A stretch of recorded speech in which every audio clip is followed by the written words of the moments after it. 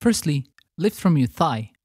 Without dropping the heel down, try to make two taps using only your ankle.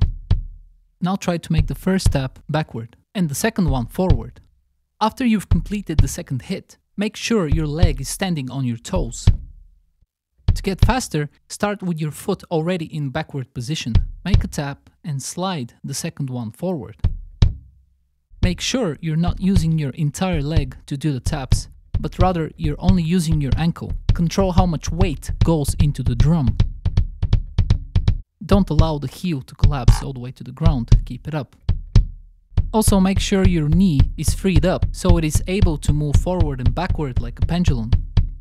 The speed of your doubles will depend on the speed of your singles, so work on those but in heel down position. This might cause discomfort, but it will pass eventually. Choose a tempo and a subdivision and stay in it for a long time until it sounds and feels good. Practice those singles also in the back position to get a feel for them. Now we can try to make use of those singles and play two taps instead of one. That's three stroke or four stroke or combine them in any way you like.